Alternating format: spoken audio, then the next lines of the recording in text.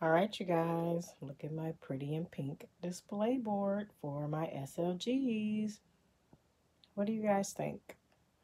I love how it's coming together.